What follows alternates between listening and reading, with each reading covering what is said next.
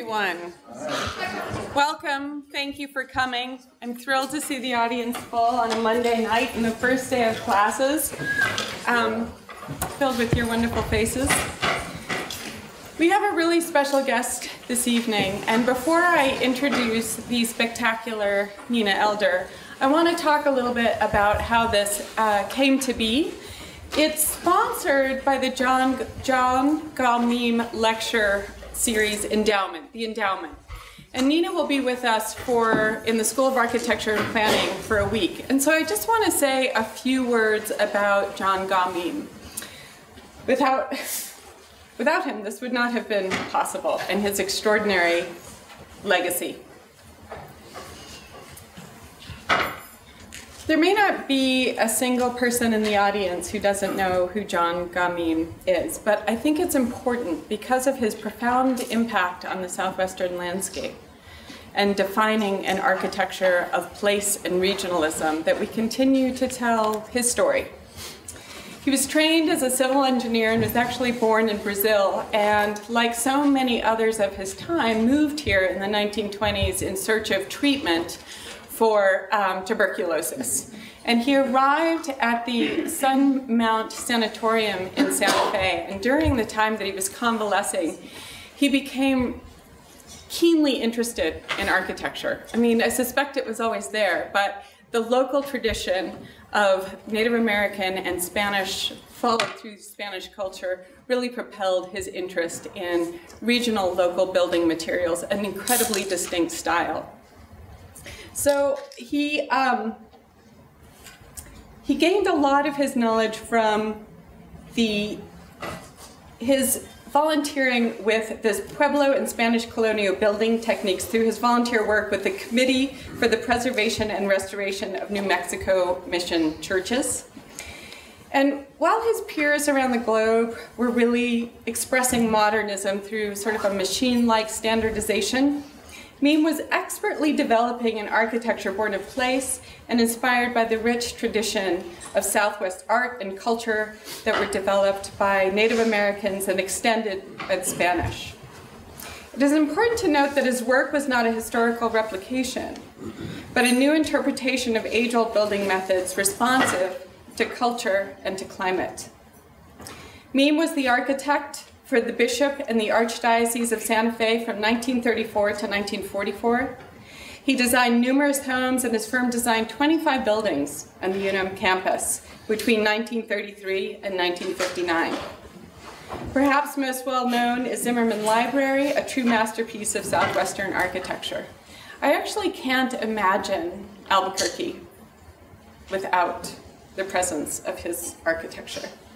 And apparently his plans for Zimmerman Library included 41 sections, vertical wall sections, and um, over 21 parapet drawings. So he was meticulous in his detailing and oversaw the work that was done and had them redone uh, if it wasn't correct. His work offers profound lessons about how to build in harmony with the land. His buildings are just as relevant now as they were when they were built perhaps even more so in a time of climate change and dwindling natural resources.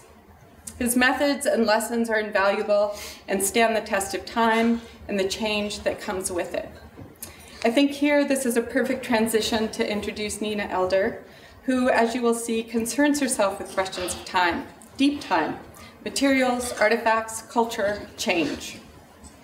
Nina was born in Colorado Springs and received a BFA in painting from UNM and an MFA in painting from San Francisco Art Institute. But I like to think of her as being a true local. She and her equally spectacular sister, Erin Elder, own a home in the South Valley where they live when they are not um, trotting around the globe on various adventures. Nina is an artist, adventurer, writer, researcher, and arts administrator. Her work focuses on the changing culture and ecology of the American West and Alaska. Through extensive travel and research resulting in meticulous drawings and interdisciplinary creative projects, Nina promotes curiosity, exploration, and a collective sense of stewardship. She is the co-founder of the Wheelhouse Institute, a women's climate leadership initiative. Nina lectures as a visiting artist, scholar at universities across the globe, develops publicly engaged programs, and consults with organizations that seek to grow through interdisciplinary programming. Additionally, she has exhibited her work um, across the globe. It is co collected across the globe as well. She, um, her research has been supported by the Andy Warhol Foundation. Uh, well, Actually, the list is really long and extensive. What I would urge you to do is go onto Nina's website and look at her work. Look at the photographs. The opening image is of a hand covered in this yellow pigment with really provocative questions. Who made this hole? What is the actual question? I'll say it later, but okay. Currently, um, Nina is a uh, artist in residence for art and ecology and has is a the first ever creative in residence with the UNM Art Museum. And we nabbed her, the School of Architecture and Planning, for a week to do an all-school design charrette on the notion of deep time. We are thrilled and honored to have her here. So please join me in welcoming Nina Elder.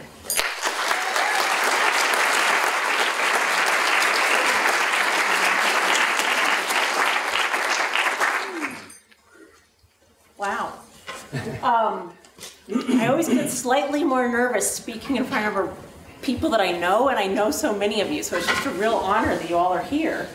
Um, and I feel like I have to just acknowledge that this auditorium is totally dizzying. So if I like suddenly fall over, just I'll catch you. Thank you. it's so steep. Um, I could make like avalanche jokes or something while we're looking at this snowy and icy scene. Um, so I'm really thankful to the Art and Ecology program. It's and to Subhankar Banerjee, it's been an incredible experience um, to have time to think deeply and develop um, some major projects here in my home. Um, a huge thank you to the Mellon Foundation for supporting my residency. Um, I have unending gratitude to the UNM Art Museum and to Dr. Tracy Quinn. Um, there's just an incredible amount of trust being put in me and letting my energies just run wild. It's very amazing. Thankful to the School of Architecture and Planning. Uh, as Katya said, I'm working with their entire department around this idea of deep time. We had an incredible session today. I can't believe I still have any vocal cords left, but we're gonna just keep going. Um, and I want to thank Katya. She's she's one of the most joy-filled people on the entire planet, and she brings like critical breadth to everything she does. So it just feels really amazing. I invited her to be here with her and the John Gaw Meem Foundation. I just have to say, I grew up going to art school as a little kid in a building that was designed by John Gaw Meem, and it's so cool to like come full circle and to have this support now um, to do this. And I always need to thank the um, Anchorage Museum in Alaska and the Pollock Krasner Foundation. Um, I wouldn't be able to do the work that I do without the support they've given me. Let's see if I can. Hmm.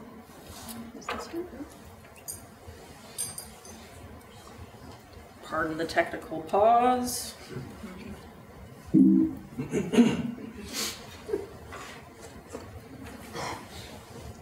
Is it working?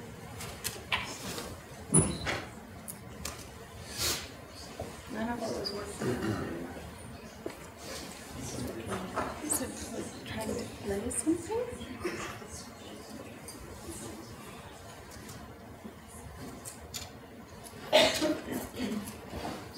computer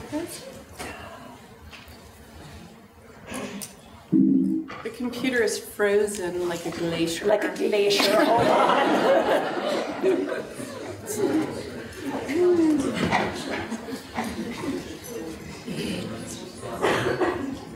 Which one? I'm running off Chrome, so.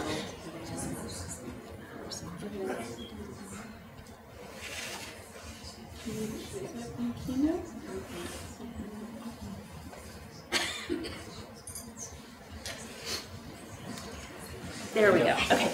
Thank you all for that patience. Um, Climate change happening right here. Yes.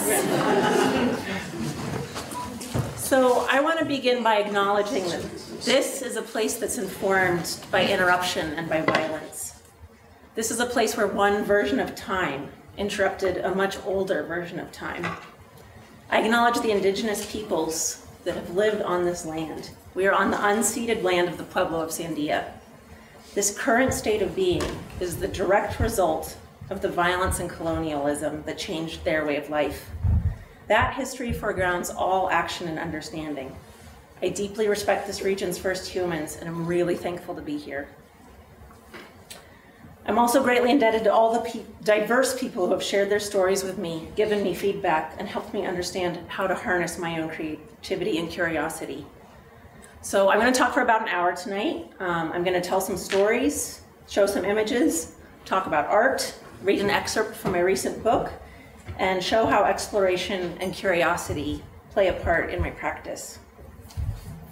So I've spent the last several months creating something called Deep Time Lab that will open soon at the UNM Art Museum.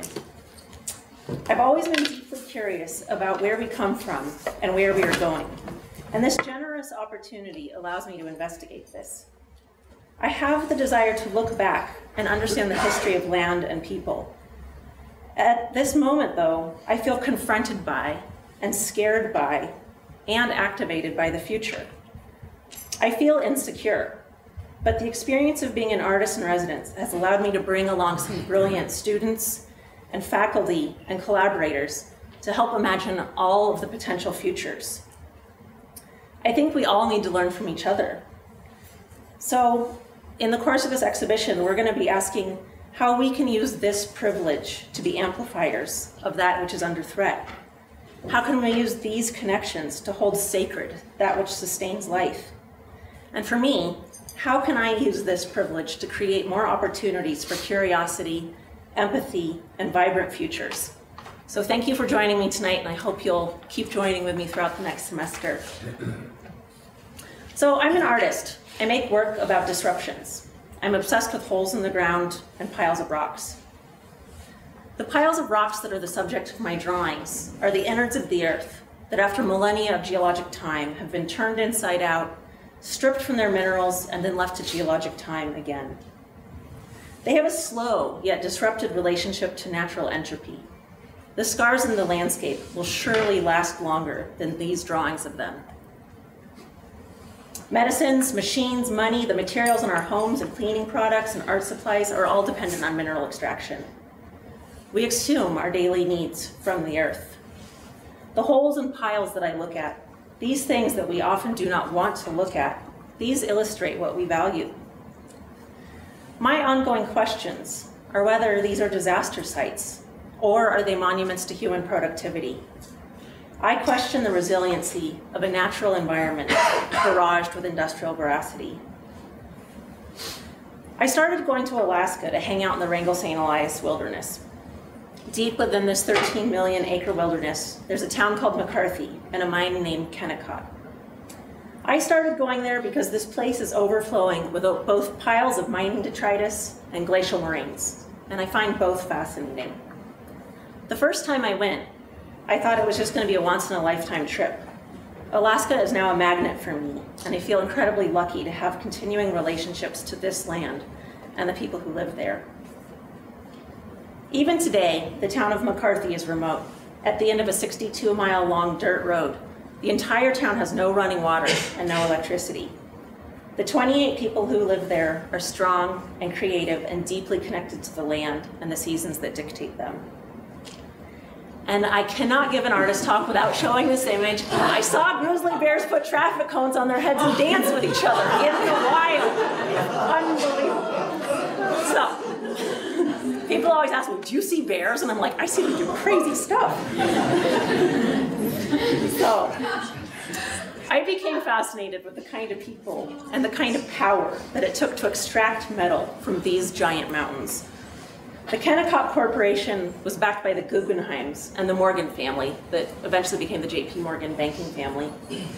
In the early 1900s, there was electrical shortages. In the early 1900s, they saw there was a potential to build what we now think of as the grid.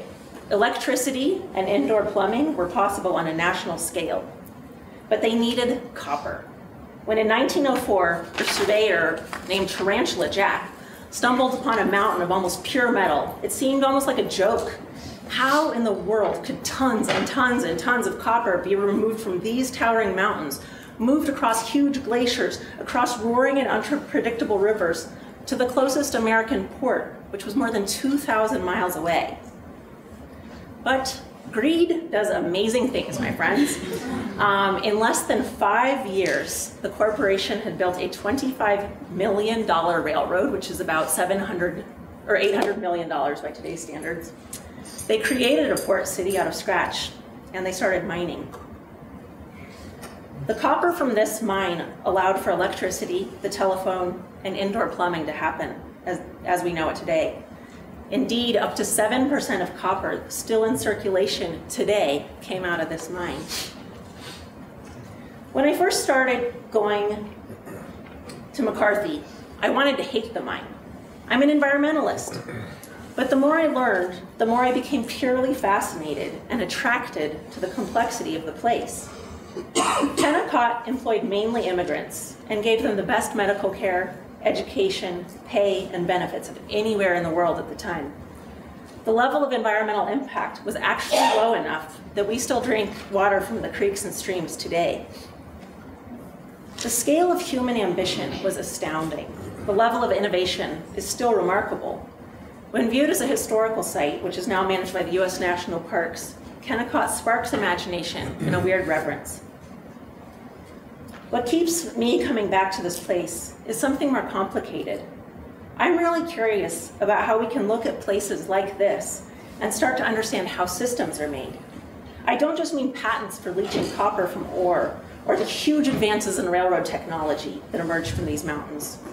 What really blows my mind is how one place can show us politics, power, and something about humankind.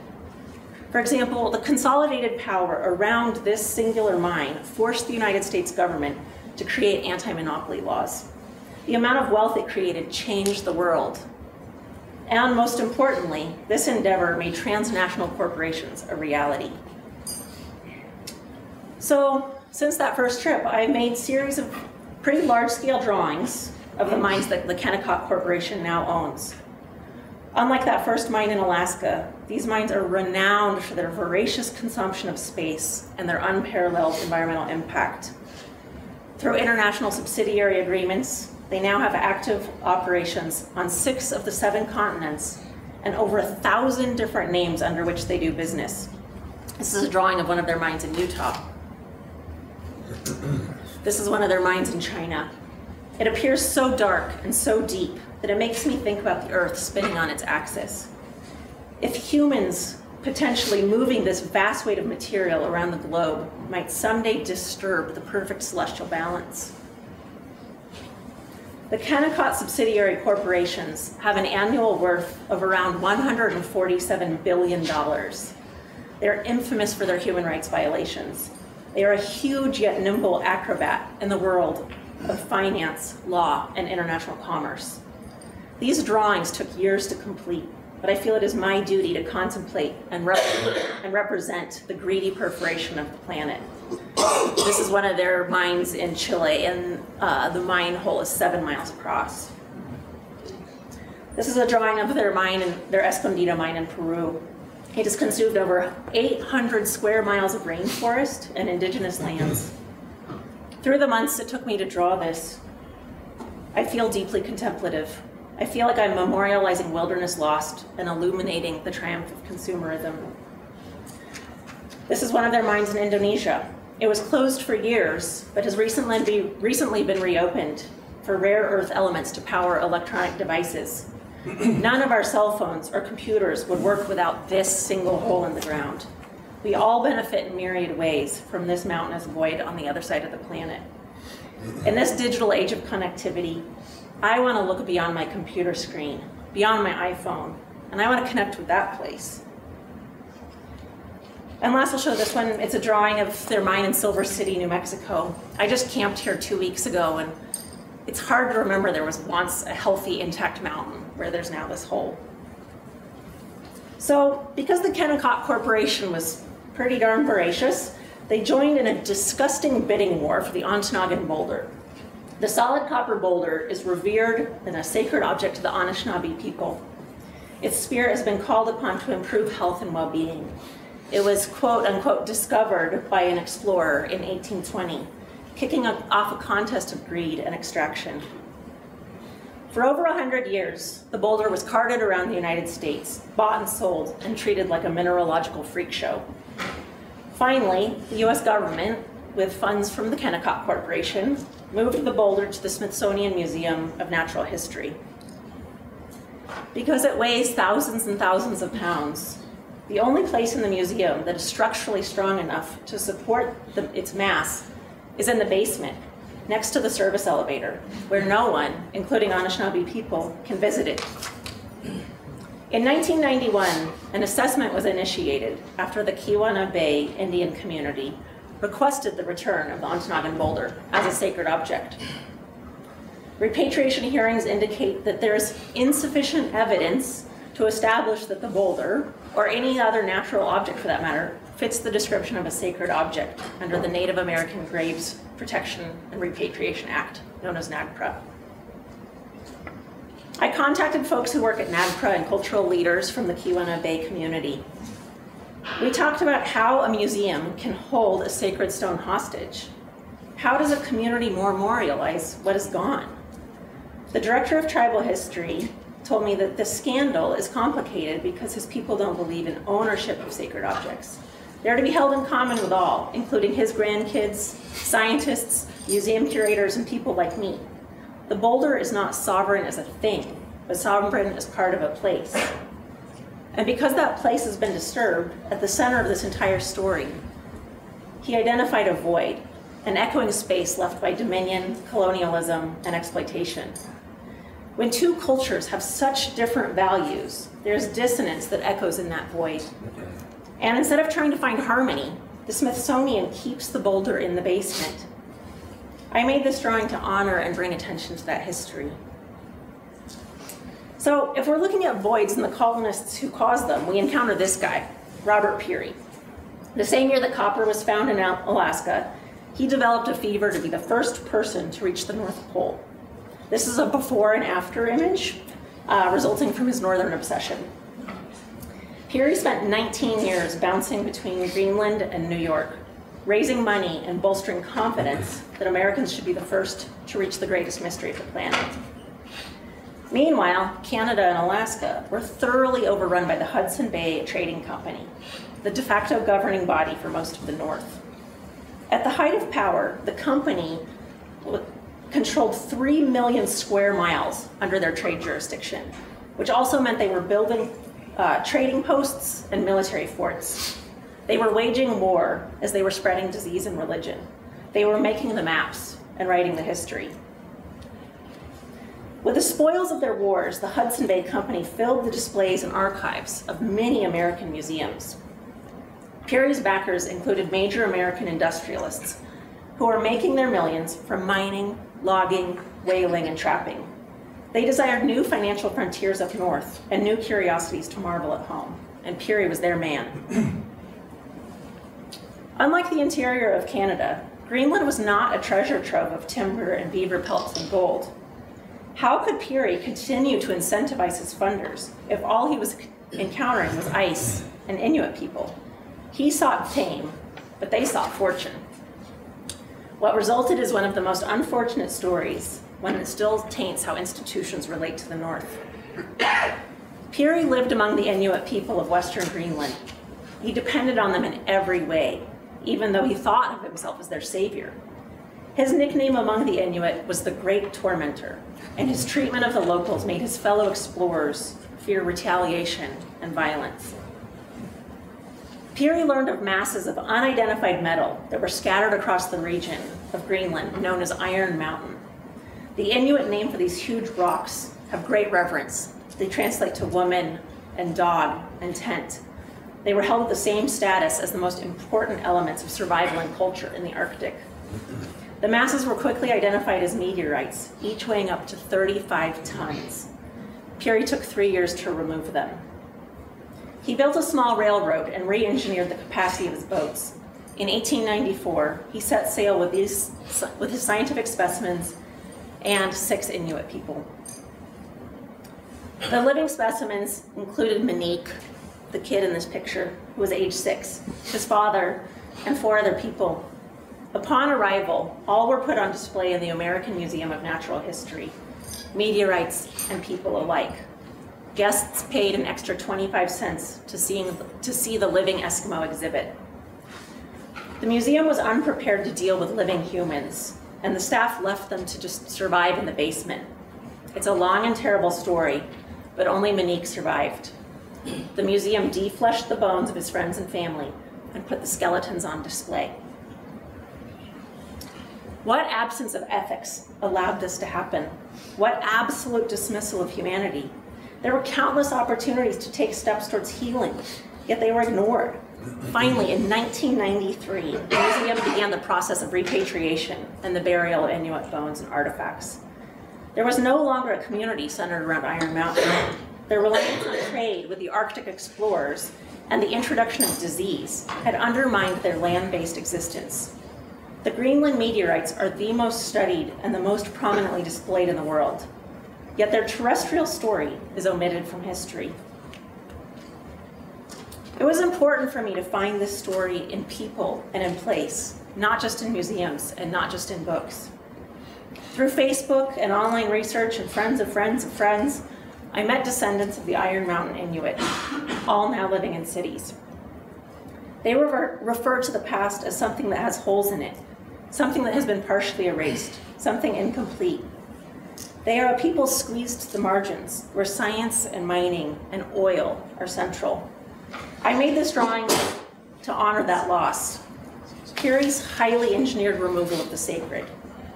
Um, I drew, I drew it using charcoal and space material that was provided by NASA. It's on display right now at 516 Arts, so you can go check it out. There are countless other meteorites that have been stolen from other peoples. Nearly all space objects come to Earth are revered by indigenous people, and all are coveted by science. They hold the secrets of the universe, the most rare of minerals. They are the only object that really allows us to touch outer space, the heavens, and deep time. I've explored these cultural conflicts from both sides and have made many drawings. I realize that in these voids, through these erasures, I might be taking the meteorites back. And just so you know, the University of New Mexico has one of the largest meteorite museums in uh, academia, so check it out.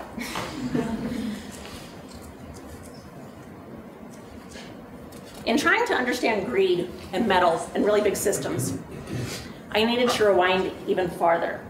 I really wanted to understand where it all comes from. So, what I learned is that Western science believes that 4.5 billion years ago, the cosmic dance got a little too close, a little too clumsy, and everything got sucked into a black hole. There was a gigantic collision, and things started spinning around each other and spinning out a galactic wind blew, the lighter stuff got flung away, and left these heavy planetary bodies still swirling around each other. The Earth's hard crust formed around a core of molten space particles.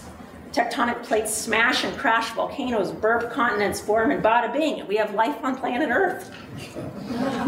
Fastest history of the universe you've ever heard. Um, because of all this smashing and crashing, the planet that we think of as home is really a mixed up mass of exploded stars, planetary offspring, and things blown here by space wind. Many of the things we value most, gold, titanium, platinum, they were immigrants. They're immigrants from other form, from other planets in the form of meteorites. They were folded into the Earth's core and now are expelled through the grinding, crunching, burping, and erupting forces of geology. It is the meteorites, both on the surface of the Earth and below it, that seem to magnetize human desire. Trying to understand how the universe began, it made me question this void that exists in colonized places, that often exists in memories, and that exists in my art. The universe began as a void, with a wild collision, and the impossible suddenly became possible. Last year, I got to spend some time in the Klondike goldfields. It was a wild experience. Um, this is the place that caused one of the largest waves of human immigration, the Klondike Gold Rush. In 1896, there were rumors of rivers that flowed with gold, rumors of mountains of solid metal. Before gold was discovered, about 8,000 indigenous people lived on the land. It is just below the Arctic Circle, and human life was close to the cycles of the sun, of snow and ice, of caribou and bison. Later, more than 100,000 new people flooded in with pickaxes and shovels and greed. They hauled themselves across oceans, over mountains, across international borders, bringing far more materials with them than were ever removed from the land. People still toil those soils, seeking their dream, hungry for fallen stars, looking for a bonanza. As I shared me meals and beers and stories with the miners, I realized that we were so very similar. We creative folks and these hardworking miners, we all seek the glimmer, an unseen sparkle. We imagine a reality where, through our unique labors, we unearth some great bounty. We are willing to smash ourselves into hard places, work ourselves to exhaustion, follow our vision. If we're lucky, we find that glimmer. Once we have it in hand, that bright thing, we have to convince other people that what we have done is valuable. We ask other people to believe in us, to invest in us, to have faith that we can keep producing the bright, shiny thing. It is beautiful to work with conviction and with dedication. It is a wonderful thing to believe that there is soft sparkle in the hardest and darkest of places. At the same time, I found myself horrified that I was so sympathetic with these miners. Once again, I'm supposed to be an environmentalist. But it became clear to me that without them and their backbreaking work, moments like these would not be possible. This projector, this screen, the camera that took these photos, the seats you're sitting in, the car that drove you here, a miner pulled every single material of every single one of those things out of the earth. Many years ago, I started making these small drawings of hand-dug mine shafts that I found while I was out hiking. They seemed quaint and old, evidence of some far distant ambition. But the more I think about them, these are not voids, but places where, if we look, we can understand our values, our impacts, and what we assume we are leaving behind. But on this hurtling ball of stardust, we don't actually get to leave anything behind. In all of our action, creation, destruction, celebration, and disregard, we are contributing to the future. I think that's why I'm an artist. I can shine a light on these things and ask questions. I can look at a pile of rocks like it's a crystal ball. I can see the future here. Someone once said that I make grotesque places too beautiful in my drawings. But this is what we are working with, and we need to know it. It's our past, present, and future. So I want to mention something that I'm really struggling with. The world is facing unprecedented challenges and so much loss. I think about extinction, biological annihilation, species loss, environmental apocalypse. This is what I read just last week. This is what my headlines look like. Well over the half the world's population of vertebrates, from fish to bird to mammals, have been wiped out in the past four decades. Between 1970 and 2014, there was a 60% decline on average among wildlife populations around the world. Most terrifying to me is the loss of invertebrates, especially the pollinators, those often unthanked creatures who have experienced a 75% plummet in population. I need to think I need to thank my friends and family who continue listening to me as I keep talking about this thing, this loss, this new normal, even as I continue looking into the abyss, I want to retain my wonder and my hope, even while I refuse to ignore the facts. I am really interested in what happens when incremental change starts happening at a palpable and increasingly uncomfortable speeds. I think about how we can continue creating in a time of unprecedented loss. I feel a strange whiplash between the urgency of climate change and my desire to slow down and relish the world that surrounds me. Everything seems like it's speeding up, yet part of me just wants to hug my sister, go for a hike, eat a burrito, read a book, and pet my dogs. That sensation is a psychological condition called solastalgia. We all have it. This is a premonition of transition, a sense of loss from an anticipated future. Solastalgia is anxiety about change from a perspective of wholeness. It is the feeling of homesickness before leaving home. It is the idea that we cannot prevent ourselves from moving into the future. Yet in the future, we might miss this present. I wonder how we can acclimate ourselves to change, to be nimble, to move with intention into the futures. One morning, my mom woke up, and from the sound on her radio alarm clock, she knew that something was absolutely terribly wrong with the world. She turned off her alarm clock and went to the kitchen. She went through her normal routine make coffee, toast bread, spread it with butter and jam, and sit down at the table to eat. She did one thing differently, though. She did not open the newspaper, but instead ate her toast and just looked out at the backyard. It was September 11th, 2001. I go hiking. If I'm lucky, I collect berries on those hikes. I make small batch jam from those berries. I wonder if time and space is captured in these jars. Can I taste the time and the place where I picked them? What does memory taste like? Can I preserve time? I'm creating a project called the Solastalgic Archive. I am asking people to contribute things to the archive that help us position ourselves within time. What do we do that at once addresses the passing of time, the presence of the past, and the coming of the future? I think we will eat toast and jam in the archive. The greatest teacher that I have when it comes to thinking about change is glaciers. We talk about mountains as the most immovable of entities, yet these glaciers are carving and shaping the landscape around them. They literally gouge and rip and rumble as though they were a bulldozer. Glaciers are at once vulnerable and immensely strong. This is what a receding glacier looks like. It has so much earth in it that it no longer looks like ice, but like an industrial scrape. An industrial scrape. It literally is a huge gravel pit. As glaciers retreat, a huge weight is lifted from the earth.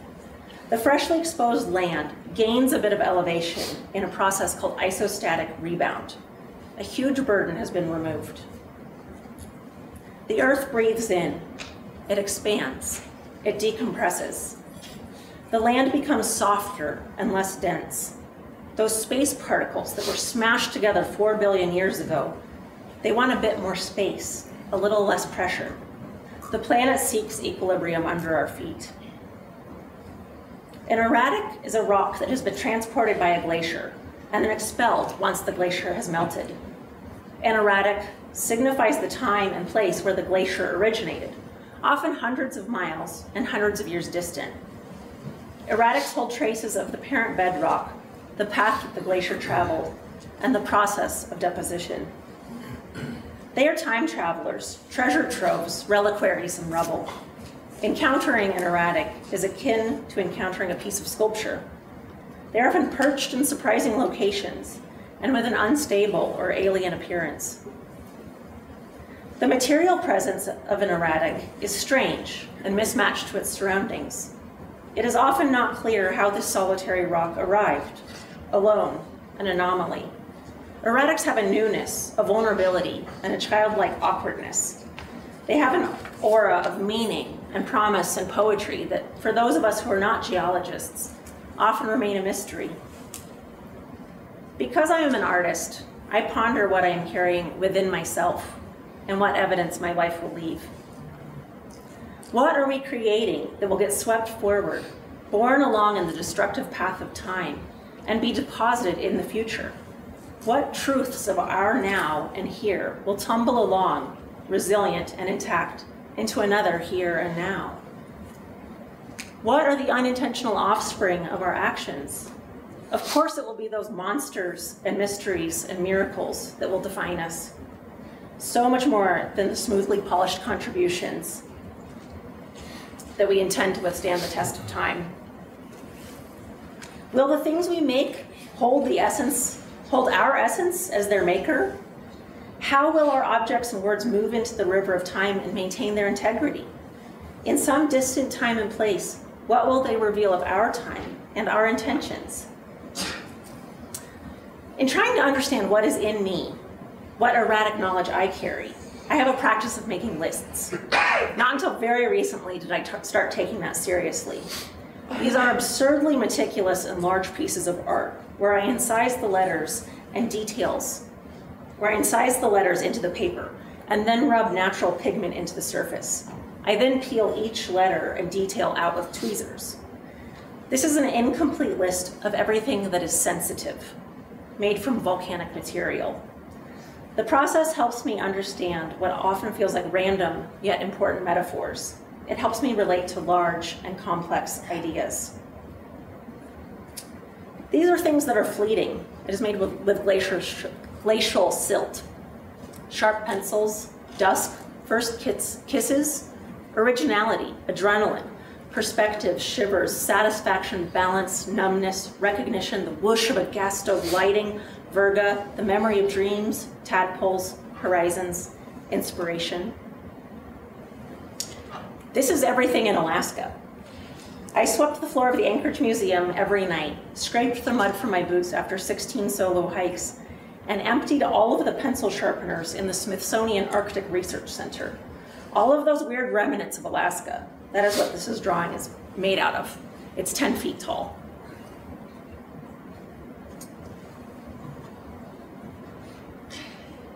Glaciers help me understand change. Lists and erratics help me understand the results of change. But really, time is the hardest thing for me to imagine. We have such a warped perception of time. For instance, it slows down when we are afraid. It speeds up as we age. It gets twisted when we travel. It dulls when we feel bored. It shines and spins when we fall in love. A few years ago, I went on a jury, journey that seemed to both pause time and allow me to see it in a different way. It starts with this funny photo. My dad retired from a long career in government contracts and ended with a final slog in Homeland Security. He was gone quite a bit when I was a kid, working internationally on government contracts and not at liberty to speak of where he had been or why. I remember being in fourth grade, the time this photo was taken, asking him where he had been instead of at my birthday party, and he responded with something in military jargon with lots of acronyms. He often would remind me that he was under a 25 year statute of limitations before he could describe his work. That meant nothing to a nine year old. So after I came back from Alaska a couple years ago, my dad was really sick with emphysema, and I went and saw him for the first time in a long time. Because he now knows he will not outlive his 25 year statute of limitations, he finally started telling me a little bit about he, where he was 25 years ago. My talk of northern travels led him to tell me that he had worked extensively in the far north. He was a decommissioning officer on a Cold War era radar system that linked international surveillance equipment to NORAD, the hollowed out mountain in Colorado Springs. These were huge radar systems that flanked Russia and existed in Greenland, England, Finland, Canada, and Alaska. I'm showing historic images of these sites and my drawings of them as well. As a kid, I imagined my dad wearing a suit, getting out of an airplane, walking up to one of these radar dishes on the edge of a flat white ice field and turning a huge switch from on to off. I don't think that's how it went. Um, I don't remember him telling us stories ever about the land, the wildlife, the weather, the light, or the native populations that surrounded each of these installations. As I talked to my dad, I realized that his lacking descriptions signified what is symptomatic of a government approved mentality, one that does not relish stories of place or the sentiments of land. He went to the north with a task at hand, and late Cold War fears and protocol camouflaged everything other than that task. His circumstances shunned curiosity. I decided I had to fill in the rest of this history. I felt compelled to be vulnerable to and curious about the places where the US military had gone, to sense it, to relate to it. I wanted to fill in the map of the Cold War, not just the physical map, but the one of people and time and stories. So within days of seeing my dad, I had decided that I needed to go where so few people go, the militarized regions of the Arctic North. I started my trip in Nome, Alaska. There was about 15 hours of travel from Albuquerque. Nome is a strange place to me. It reminded me of parts of the Southwest and that there are several distinct cultures. And to an outsider, it's really unclear how or if they interact. It feels like a true frontier town. It's a gold rush town with a pretty messed up landscape. Over $4 billion worth of gold have been sifted out of their black sand beaches.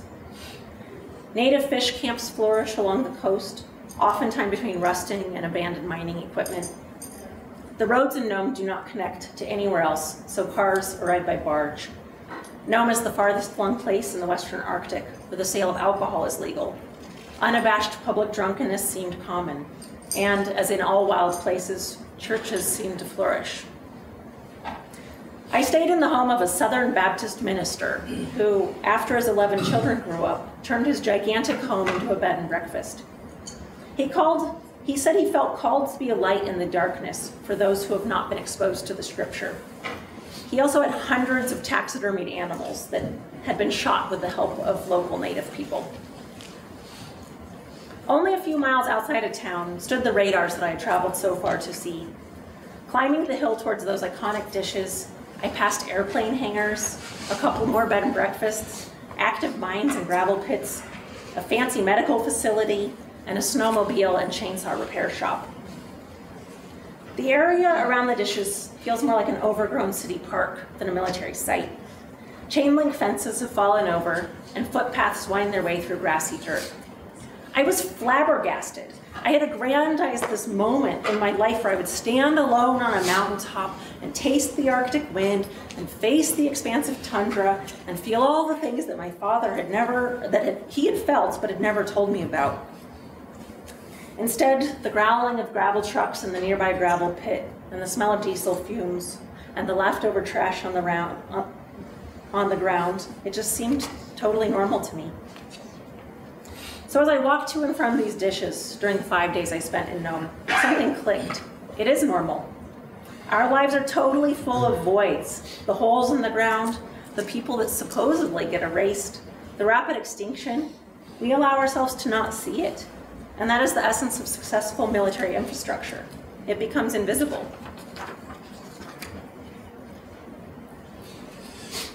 The dishes are part of a much larger network called the DEW Line, an acronym for Distant Early Warning Line. It was built to detect incoming Soviet bomber, bombers during the Cold War and provide early warning of any invasion to the network hub in NORAD. It cost over $28 billion to construct. The DEW line was operational from 1957 until the late 1980s, when my dad helped turn it off. Like so many things that I encountered on this trip, I was curious how they had come to exist and how they had functioned. The dishes utilize a technology called tropospheric scatter parallax radar communication. The dishes bounce information off the troposphere, the curved envelope of vapor that forms the interior layer of the Earth's atmosphere. The information is then bounced towards a sympathetic dish, angled precisely to receive this information. Even though only one billion billionth of messages were ever fully relayed, this was considered effective communication during the Cold War and linked US northern borders with centralized defense units. Those linked dishes create such an interesting illustration of parallax. Parallax is the phenomena that allows multiple views of something to all be true, all at the same time. It is the fact that one, more than one perspective is needed to create accurate understanding. It is how sailors navigate by the stars, and early astronomers and cartographers accurately measure distance. For instance, my hand can block the sun from my own eyes, yet it does nothing to shield anyone else's. A sun visor only blocks the sun for one person because each person is in a distinct spatial relationship to the sun. Parallax, different perspectives merging to create an accurate view of reality. How is it that my father had a relationship to these places without being overwhelmed by the beauty? Or if he was overwhelmed, why didn't he talk about it? How did the military have the audacity to value these sites only based on international proximity? Nome seems to be a sublime place where individual desires flourish in a vastness. The miner looks for a flake of gold on a beach. The minister seeks souls to save. A radar is positioned to pick up one billion billionth of a signal coming from space.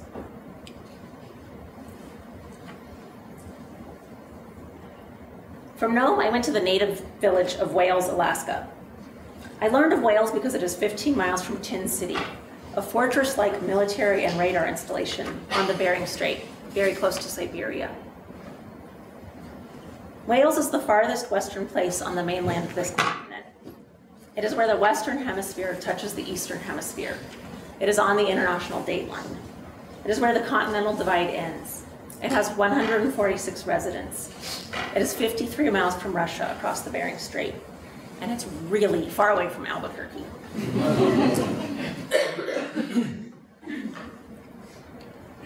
Here is a transcript of my entire planning and orientation to my journey. An email from me to info at nativevillageofwales.com. Hello, I'm an artist and I would like to visit Wales from July 5th to 10th. Please advise me on how to make this happen. I look forward to hearing from you. from info at nativevillageofwales.com to me. I have reserved a room for you in the multi-use building. there will be a kitchen for you to use. Mail your food to the address below at least two weeks before you come up here. Signed, Vanessa. From me. Dear Vanessa, this is fabulous. Please let me know if there's anything else I need to know. And that was all. I didn't hear anything else. so, with zero information and an entire continent to traverse, off I went. So, when I got there, I uh, landed out about a mile outside of town and walked in. And I asked a bunch of kids who were swimming in the Arctic Ocean. That's a symptom of climate change, that kids are swimming in the Arctic Ocean, I guess. Um, so a little girl showed me to the multi-use building and showed me which room she thought I would stay in. Among a warren of unused office spaces and a big room full of folding chairs, my room had a bed, a table, and a makeshift curtain made of tr black trash bags and tiny pieces of duct tape. I was thankful for the curtain because the sun never set while I was in Wales. Even though I mailed my food three weeks in advance, I preceded the arrival of my shipment by one day, so I was thankful that I could buy groceries at what they call the native store. That moment opened me up to the actual reality of living in the Western Arctic. I bought a package, a package of powdered vegetable soup, a can of green beans, and a can of corn. That cost me $21. I was humbled and shocked. In a town that had no visible means of commerce or economic infrastructure, how in the heck could anyone afford to feed themselves? And I quickly realized no wonder there's so much evidence of hunting and fishing, like severed caribou heads on the beach. I learned the difference between what is referred to as outside food and Eskimo food. It's immense. This is an image of salmon drying on a traditional house. The store was filled with prepackaged food, being sold at eight to 10 times the price of what I'm used to paying here in New Mexico. I asked Cynthia, a young woman who runs the store, if she was busy. She told me she works 40 hours a week, often goes hours without seeing a single customer, but they constantly run out of food. The food comes by plane. Every single item is pre-processed and full of chemicals. My preliminary research into the village of Wales revealed two dominant facts. They have the highest rate of suicide and the highest rate of cancer in the entire United States. So I returned from the store to the multi-use building. There was a youngish guy sitting in one of the interior offices, jamming loudly on an electrical guitar. His name is Dominic. This is his most recent Facebook photo. He did not ask me any questions, but I quickly realized that I needed to ask him some questions. I had no idea where to go to the bathroom. Where should I cook? Could I come and go as I pleased? Did I need keys? So he showed me the bucket that would be my toilet and the 50 gallon trash can full of drinking water that he had hauled from a nearby spring. The building was built with plumbing because it was built by the US government. They neglected to realize that because of permafrost and the lack of any water coming into the town, that indoor plumbing is completely superfluous. So, thus the buckets. Dominic works, continues to work the night shift, watching the Bering Strait. Around the clock, Every day, men work six hour shifts monitor, monitoring the ocean in front of the village to make sure that no commercial fishing vessels or oil tankers are in their traditional fishing areas. If they were to call, the National Guard would come from probably thousands of miles away to remove the trespassing vessel. It's not a very efficient system. Oddly, the office from which they monitor the strait has no windows and rarely has any internet. Most of the guys play Tetris on the computer for six hours and then go home. I asked Pete, the guy who works the afternoon shift, about his job. He said he had worked every day for three years and had never made a report. So, throughout the day, the village is full of people attempting to work. Vanessa waits for emails like mine to come to the village email address. Pete and Dominic are in the windowless office, monitoring the Bering Strait. Cynthia sits in the store, waiting for customers. I asked them why they work these jobs that have so little outcome, and a conundrum became clear. To qualify for new government housing and for food assistance, they have to be employed, but having a job takes them away from the traditional activities that sustain the village. The people of Wales lived traditional subsistent lives until very recently. Their existence revolved around the migration of animals, the movement of walrus and seal, the seasons of salmon and bird eggs and caribou. Now they feel forced to work to be able to afford Kool-Aid and white bread and Velveeta. My first day in the village, I walked out to the lagoon that separates the village from the Arctic Ocean. I saw this female caribou laying in the grass and took this photo. I returned and showed it to Sunny, who was working in the office. He said, oh, she's just tired from the heat. He told me that for thousands of years, his people have corralled caribou along the ocean, using these long fences to funnel the herds towards a place where they could be killed.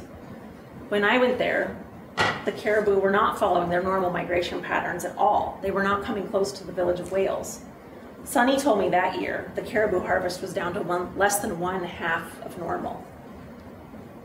The next day, it seemed like a coincidence, the Navy showed up. They were there to do a pollution evaluation site visit. The entire village of Wales is contaminated from the era of military proliferation and asbestos insulation. It does not take a trained eye to see that there are puddles of oil and heaps of trash and huge pits of toxic waste scattered all over the land. Despite the undeniable proof, the Navy agreed that they might invest in a 10 year assessment period that maybe later would result in a cleanup.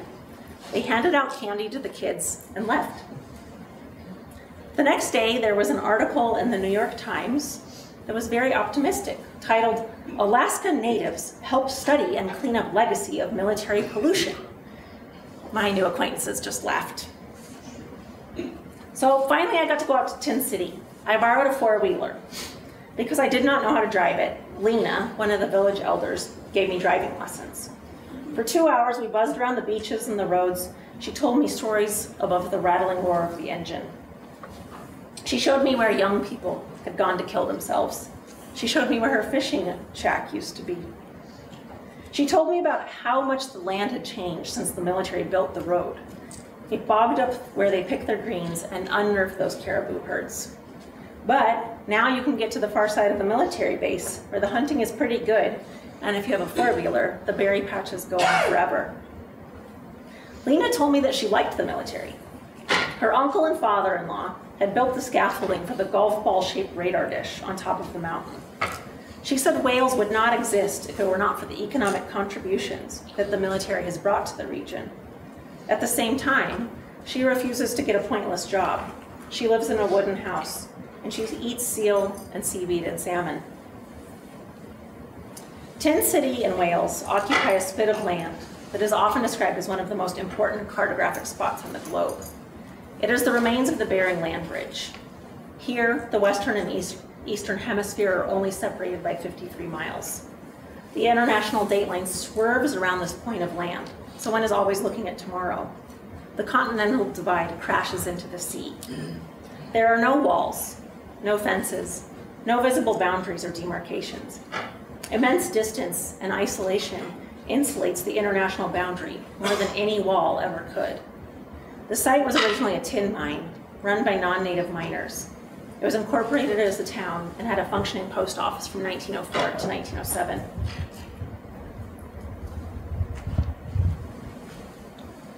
One can easily see Russia across the Bering Strait from Tin City. People have swam that distance. It is the same distance from Russia to Tin City as it is from Santa Fe to Albuquerque. It's the only place in Alaska where you can see Russia, and Sarah Palin has never been there. Tin City is hard to describe. The land feels sacred, magical, intense, yet the structures seem absurdly misplaced and graceless.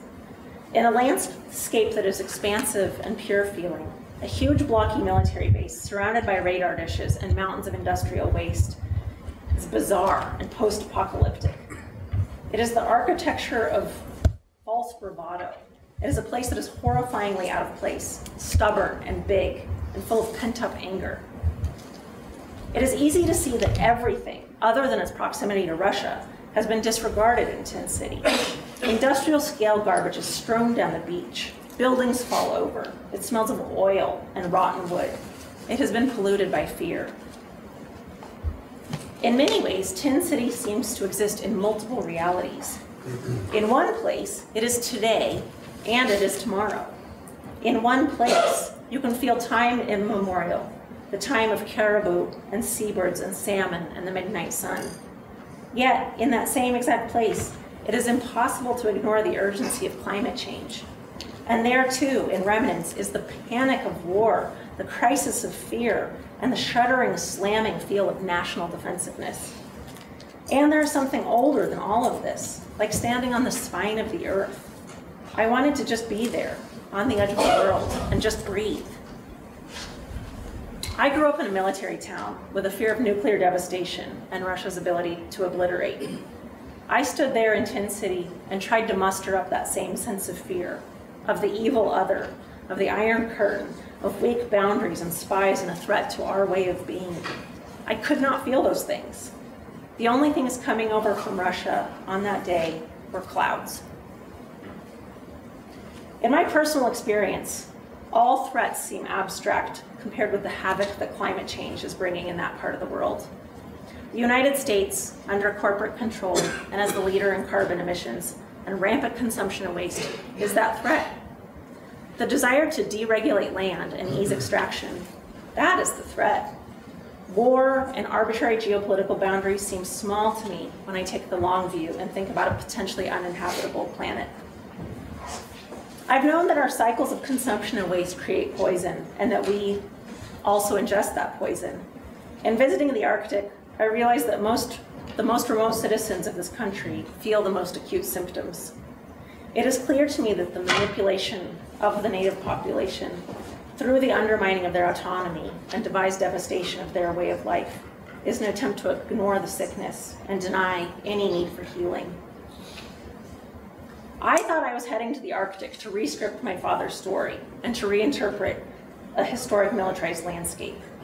I think I actually went there to understand the myriad stories that create and present the present reality of the Arctic, the multiple simultaneous truths, the parallax that is so often overlooked, and the role of deep curiosity in my own life.